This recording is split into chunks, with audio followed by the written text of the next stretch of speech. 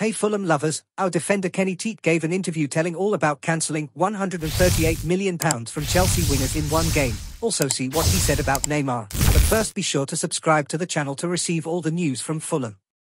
Kenny Tete is asked to think back over his performance against Chelsea on Friday night, specifically a second-half tussle with Raheem Sterling. Tete won a foul by the touchline in front of the away end after scrapping with the England international. The fans are singing his name to the tune of Human League's Don't You Want Me, and he is sat on his haunches, hands on hips, smiling. It was a heavy game for me, he grins. At some points, I was just like, let me have a break. Tete's performance against Chelsea was his most eye-catching to date, but did not come in isolation. His manager, Marco Silva, said in a press conference this week that Tete has shown consistency all season. The Premier League suits me, Tete says. I've had a lot of injuries in previous seasons. The gaffer has given me confidence. He trusts me and I can show my qualities. The team are doing well, for some reason it's all falling into place. At Stamford Bridge, in the match that matters most to Fulham supporters, Tete raised the bar. The £3 million, $3.7 million, signing faced three expensive signings, Mykhailo Mudryk, who lasted only until half-time, Noni Madueke, and then later, Sterling. Combined cost, £138 million. When you play Chelsea, you are always motivated, he says. You know they have a lot of signings. You know you are going to play against expensive players. I had it before, in France, against Neymar. I had that experience. I just had to be calm and do what I had to do. Tete did what Tete does best, face down wingers in one-on-ones. He won 10 duels against Chelsea and added an expensive trio to a growing list of thwarted players that includes Luis Diaz, Son Heung-min, Jack Grealish and Pedro Neto. To stop someone gives me a good feeling, he says. I'm a defender. I have to stop attackers. There is an art to the defensive side of a take on. Especially when already on a booking, which happened to Tete against Liverpool and Tottenham, against Diaz and Son. I know when I have to make a tackle and not to make a tackle, the 27-year-old says. If it, getting a booking, happens, you think, fuck, but after you go with the flow. You have to make sure if you make a tackle, it's not a foul. Don't give the referee a reason to give you a card. Tete dates his defensive nous back to his early years as a seven-year-old playing football in Amsterdam Oost, the neighborhoods of East Amsterdam. He would play small-sided games against friends, often academy players who were sometimes five years older. This included the Narsingh brothers, Luciano and Fertgel, who both built careers in Dutch football. The former played for PSV Eindhoven, and then Swansea City. They let me play and I was always on them, Tete says, clapping his hands to mirror one of his trademark challenges. They turned to me and said, why don't you go for a trial? I went through rounds of trials and it fell to between me and another player. They took the other guy. I then played for my local team, AFC DWS and then Zeeburgia, before getting into Ajax. I was thankful to the boys from my neighborhood, they drove me. Tete's father, Miguel, was a European kickboxing champion. But a calling on that front was never on the cards. My father never wanted me to do that, he says. There are, though, elements to his playing style that mirror a fighter. Maybe there's something in that, he says with a smile. I have had to fight for everything. That's what's taken me so far, and is giving me my strength. I'm proud, grateful, thankful for where I am today. He is grateful to his mother, Natasha, in particular. Tete comes across as reserved, albeit within a steel.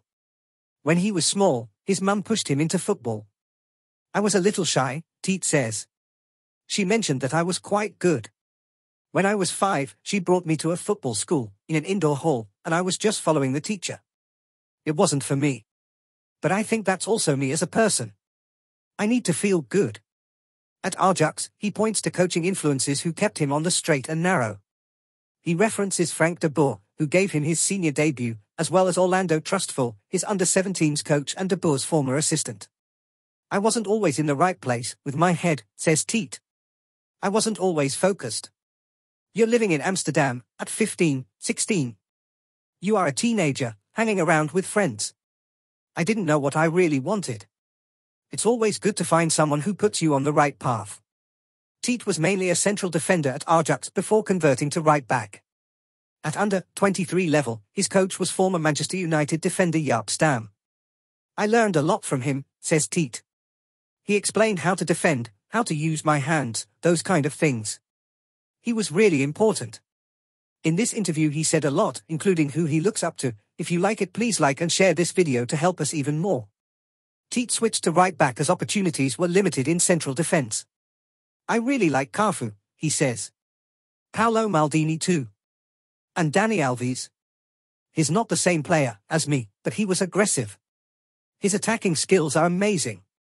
If you want to be a right back, you need to provide crosses and lots of assists.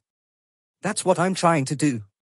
Attacking qualities are certainly important at a team like Ajax, famed for their total football and front foot mentality. There was pressure, but you have to adapt and work harder, he says. You can't stand still. Tete has shown his attacking influence at Fulham. Against Chelsea, he delivered seven crosses into the penalty area and now has four assists to his name. Having Alexander Mitrovic in attack helps. You know his quality and what he wants, he says.